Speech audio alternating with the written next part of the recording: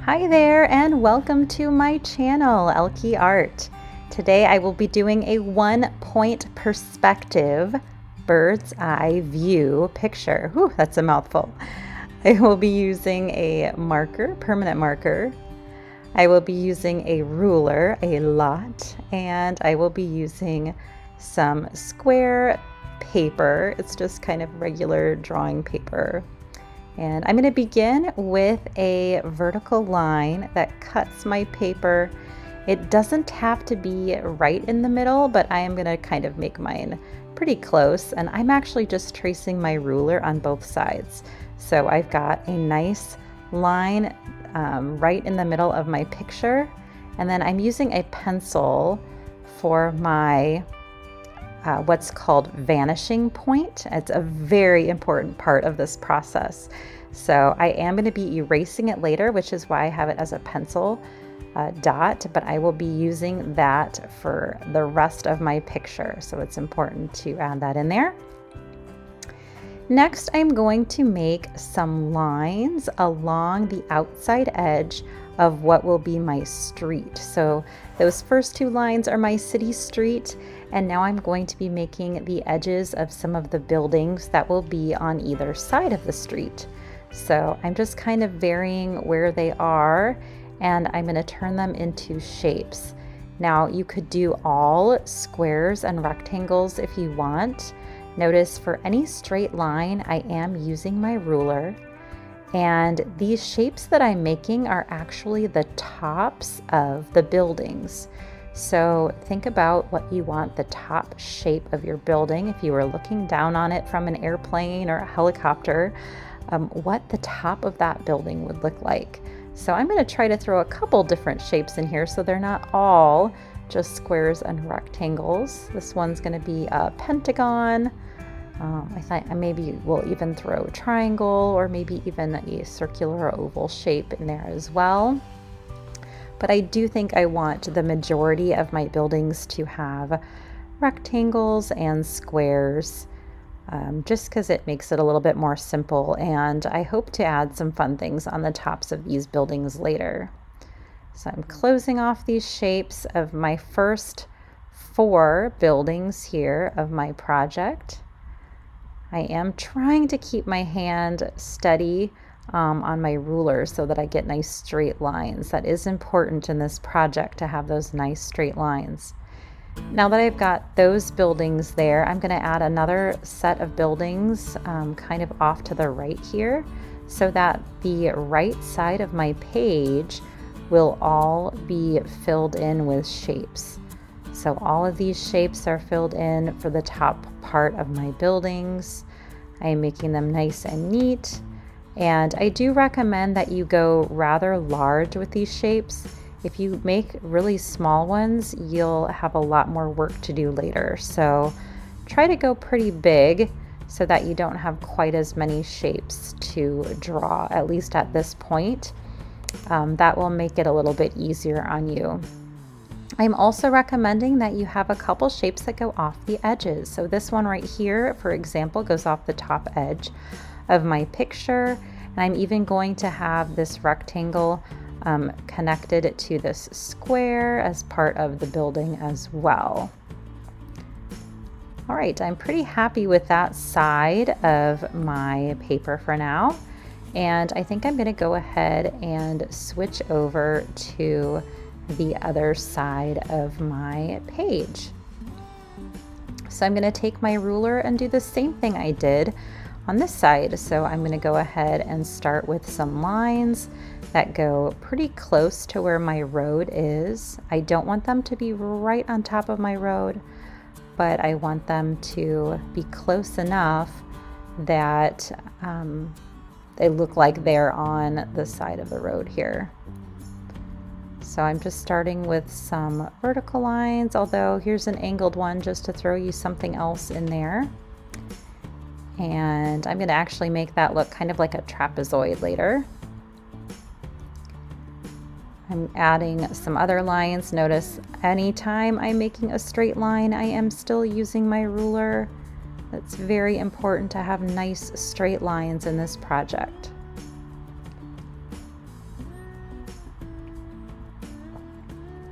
I am trying to kind of vary the size and shape of my buildings so they're not all the same. And I am continuing to try to use large shapes to fill up this space because a lot of small shapes will make a lot more work. Here's an angled line and I'm going to go ahead and connect that to the top of my paper. We'll connect this building here. This one might have slight angle to it. This one will just be a regular square. And this one will be the trapezoid I was talking about before. Just like on the other side, I want to fill in some of this extra space behind these buildings with a few more. So this one's going to go off the edge of the paper. And maybe I will do one more in here. That will also go off the edge of the paper.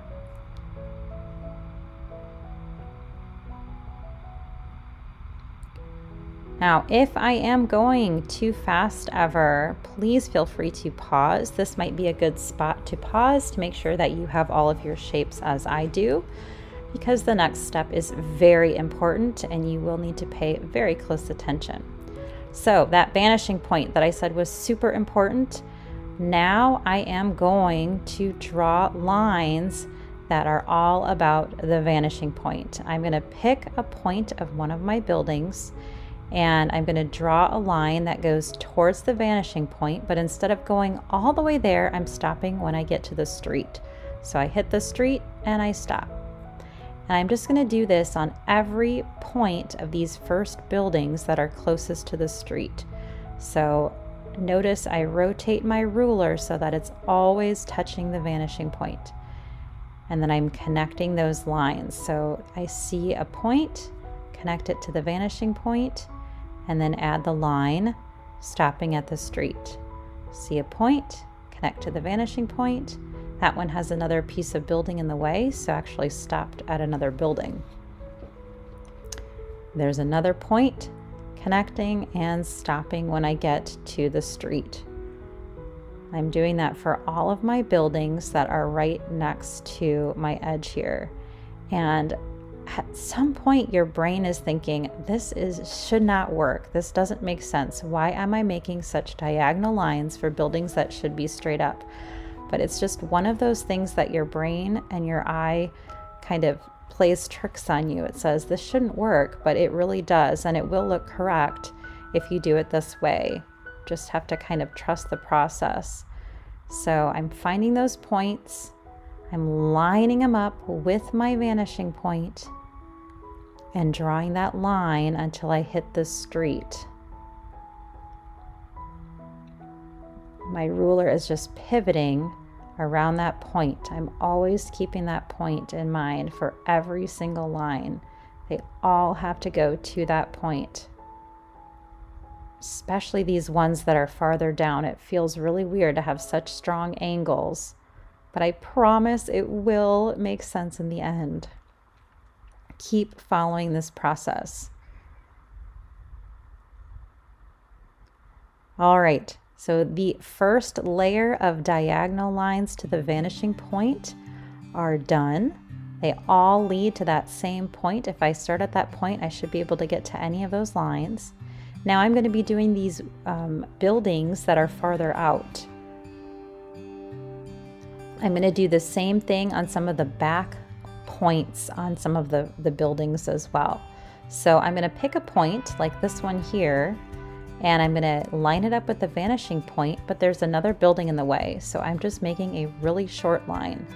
Anything that gets interrupted by another building or a street um, would make those lines stop. So I am keeping that in mind as I am drawing other lines in here that if I run into another building, I can draw that line, but then I need to stop once I hit that building. These buildings are not see-through, so this gives that um, depth, kind of indicates that depth. I'm still using that vanishing point for all of these points as well. I'm making sure that there aren't any other spots that need to connect. Even a teeny tiny mark like this, I'm connecting to the vanishing point. It makes such a difference in making this a believable scene. All right, that side looks pretty good. Now I'm gonna focus on the right side of my picture here by connecting all of these points to the vanishing point. So always lining up my ruler with point and the vanishing point and connecting those lines.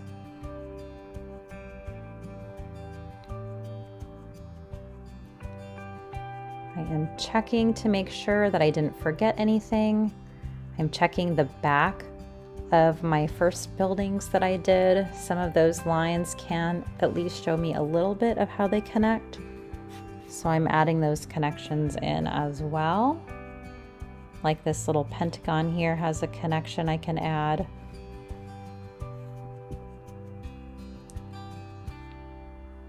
And always lining up with that vanishing point, making sure that everything connects just as is.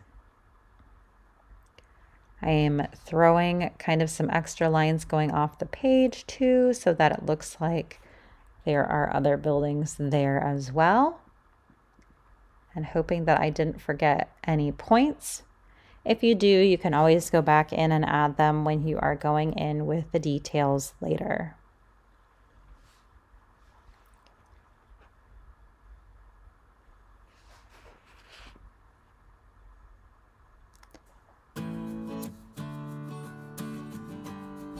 All right, so now I'm going to focus on the tops of the buildings again, and I want to add some details to make them a little bit more interesting so they're not just all these flat shapes.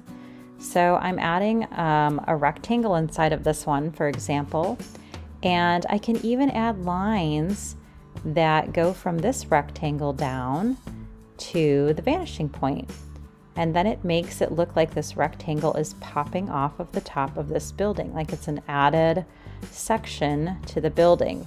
Now I added my vanishing point lines, but I also need a vertical and horizontal line like so. So that's kind of a tricky shape.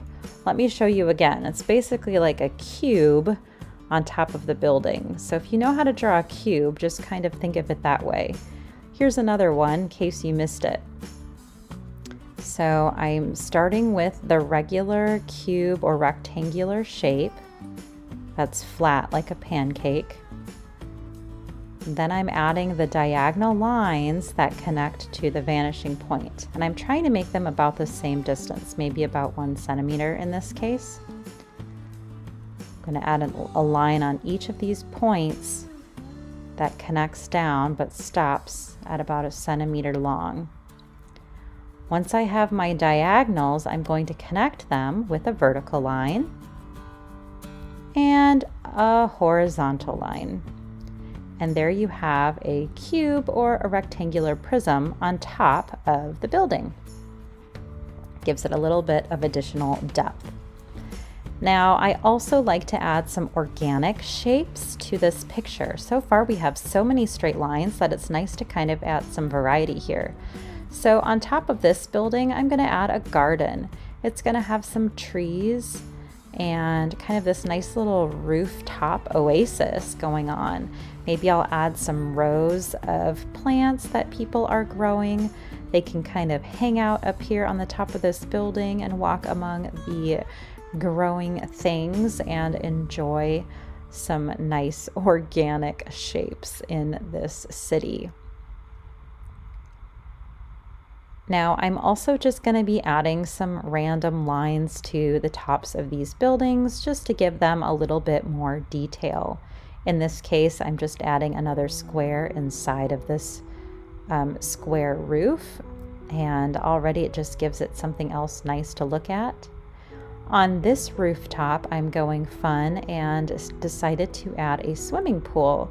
So I'm making the rectangular shape for the swimming pool I'm going to leave a little gap on this side so that it even has a diving board. Can you imagine diving in a pool way up high on top of a building? I can't say that I've done that before, but it sounds super fun.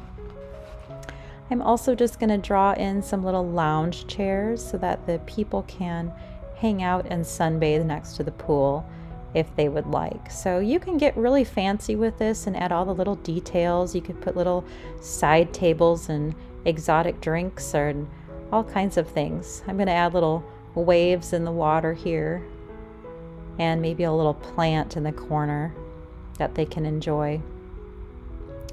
So have fun with this. Get creative with what are on some of these rooftops. It makes it interesting and entertaining to enjoy. I thought this building here might be very um, environmentally friendly. So they're going to have some solar panels on the top of their building. And I'm going to go ahead and draw those in right there. And maybe I will do that elsewhere as well later. Maybe on the other side.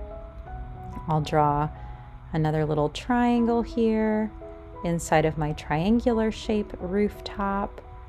And yeah, anything that you want to add little details um, or extra elements to some of these rooftops will just give that picture just a little bit more life and excitement. Here I'm going to make a couple more solar panels or maybe just some kind of design on the top of the building just for interest.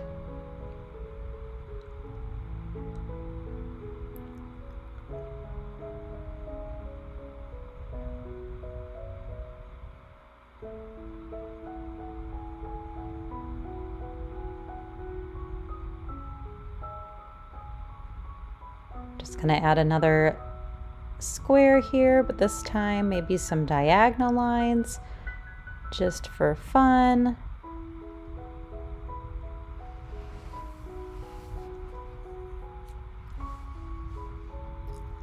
I also thought that maybe one of these buildings could be the top of a hospital. So, um, you know that hospitals like to have helicopter landing pads, at least the big ones do. And so I decided to put a nice large H on the top of this building to show that it is a helicopter landing pad and it is an actual hospital. You could also add other words or text to the tops of your buildings. I know some rooftops have those. You, and of course, this is your city, so you can add any of those details that you would like. I also thought every once in a while I would put maybe a rounded section on this building just to make that a little bit different. Since I don't have many circles. Every once in a while I add just an extra section to a building so it looks like it's complete up here. Maybe I'll throw some trees down next to the road as people are walking by. Here's a gap between buildings. That's a good spot for a tree. Just some organic shapes thrown in there as well. Let's see. I have some space over here, so I think I'm going to throw a circular building there. And We'll add a couple things on top, maybe some trees. And then because I drew a new building, I do need to add those edges to my vanishing point. And with a circle, since it doesn't have any points, you just pick the widest edge of the circle and then connect that down to the vanishing point as well. So that's a lot of detail I've gone over. I am going to add a couple other things. Um, again, if you need to pause the video and work on the details of your own picture, please do that as there are quite a few. And yeah, enjoy the process. Some people find it kind of therapeutic to sit here and think of all the little details to add.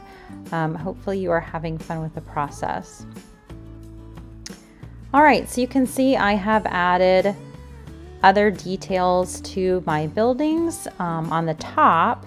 Now I want to focus on the sides of my buildings because those are empty.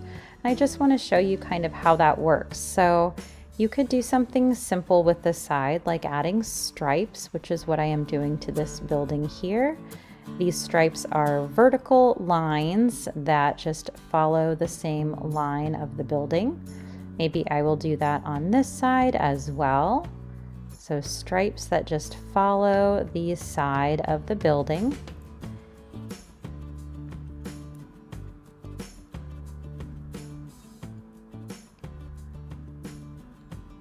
Something else I could do is I could make some stripes going that way and then um, some vertical lines as well. Now instead of making them vertical, they do need to go through the vanishing point. So any vertical lines that I add to my building do need to line up with that point as well to make them look like they go up and down on the side of my building. So again, that's another one that you have to kind of think about before adding to make sure that you are following the rules of perspective. So I added some vertical lines there by using the vanishing point. So they're really diagonal and I'm adding horizontal lines. This again is why it may be a better idea to start with a pencil and then you can always go over your lines again if you need to with a marker. I'm adding vertical lines there. All of them go through my vanishing point again. We'll do the same thing on this one. I want to have some vertical lines to create kind of a door shape. So I'm going to go ahead and draw the top of the door with my vertical line and then add those sides of the door by connecting them to the vanishing point. Now for windows, it's similar. So I'm gonna just make like the top and bottom of the windows and then the sides of the windows would be connecting to the vanishing point. So I wanna make sure that those are at the right angle and that they make sense on the side of the building.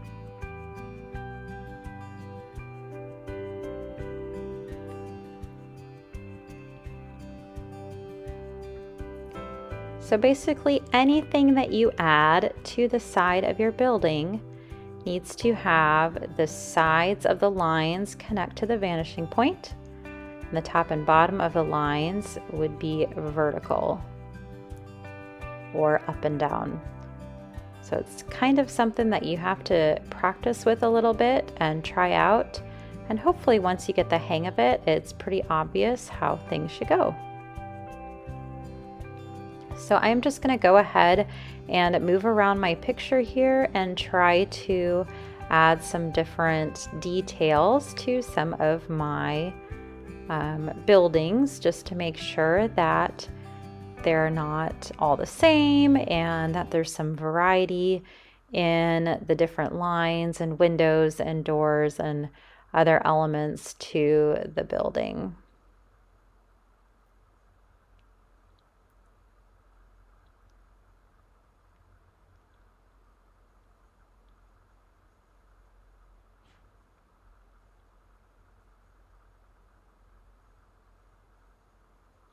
Anytime I am using straight lines, I am trying to make sure that I am drawing with my ruler so that my straight lines are nice and straight.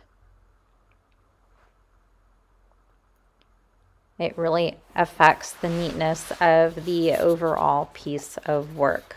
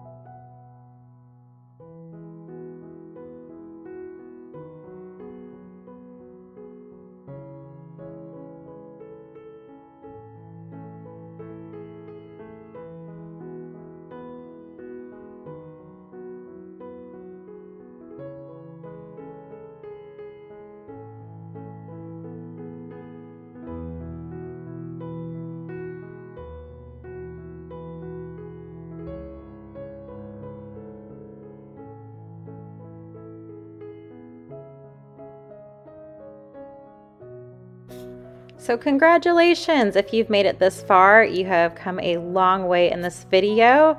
We are getting closer. Right now I am adding an extra line down the street as kind of like a little sidewalk. Notice it is very thin because I do want it to appear far away, like we are up in an airplane or in a helicopter looking down over the city. I also decided that I just want to go ahead and make a line right down the middle to kind of divide the street for the cars. So if you wanted to do like a dashed line, you could, or if you wanted to even make like a little boulevard, you could as well. These cars are pretty tiny, so I am just making little rectangles. And those are my cars. So they are way down there, far away. They look like little ants almost. And I am adding them to my picture as a fun detail to make my cityscape come to life and not just be a bunch of empty buildings.